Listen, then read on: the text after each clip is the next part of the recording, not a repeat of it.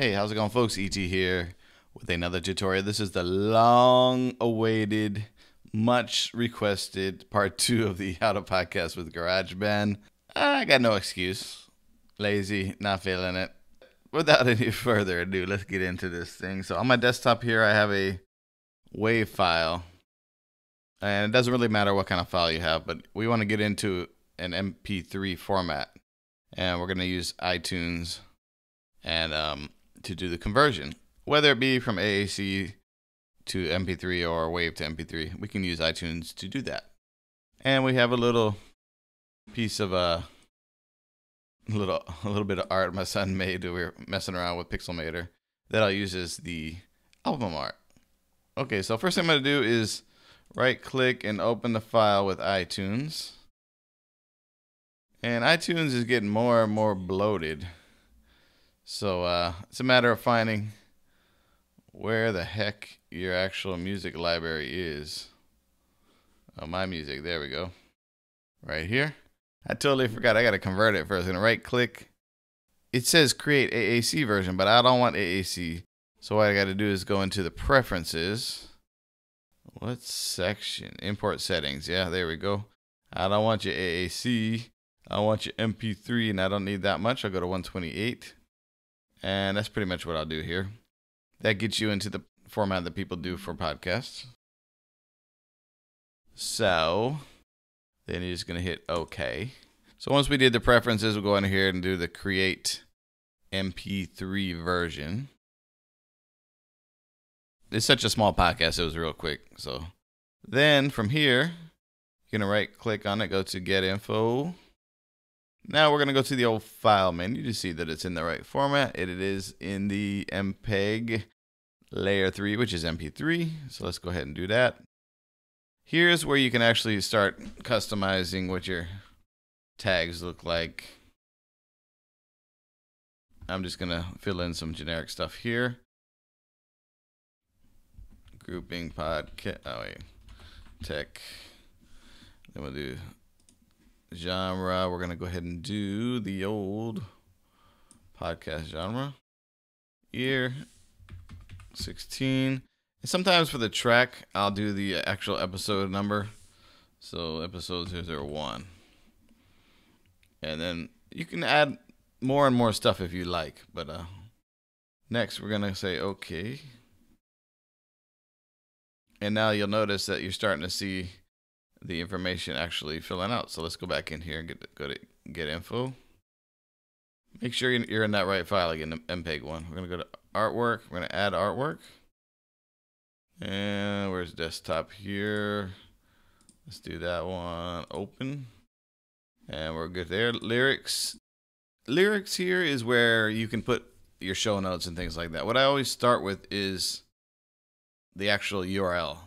And I haven't tested recently, but what I usually do is put the, you know, the address. Let's just put YouTube for now.com. Show show notes go here. You know, you can put whatever you want here basically. Options, I usually don't worry about that They're Sorting. Sometimes I'll put information in here. Sometimes I won't and then file, I don't do it. you don't do anything here, and then you just click OK. So at this point, we actually have it still in our library. What I like to do is just drag it out onto my desktop here. And you'll notice that we actually have the MP3 file with the album art already in it. And if you hit play, it'll actually play. So that's basically how you do it. From here, this is how you you use this file, and then if you want, you can dump these these other files here. But that's uh, depending on your workflow. What I do is I usually keep my album art in a Dropbox folder so I can access it on any computer. And I it's just a folder in Dropbox called Podcast Album Art. That's basically it. That's how you do it. What I recommend you do is look at a popular podcast and see how they're doing their show notes. And let's go ahead and do that right now. So I'm going to go to uh, Leo Laporte's podcast, twit.tv. And let's find Right, let's just find one of the shows, and I want to actually download the audio. Download options. Let's go audio and it's saving here. What I'll do is I'll I'll actually show it in the Finder. I'm gonna drag it on the desktop here. Then I'm gonna right click, open with iTunes. We go find the iTunes, find out where it's at, and we'll hit pause. Right here is the actual podcast. So we're gonna go ahead and right click, get info. And what I would do is, you know, I would download this one. I'd download like maybe No Agenda, Adam Curry and John C. Dvorak's podcast, maybe uh, Joe Rogan's or or uh, Adam Carolla's. You know, some of the more popular ones, and then decide how much information you want to put in here. So you'll notice their details are filled out here. Comments, they put the link. Artwork, they have their artwork.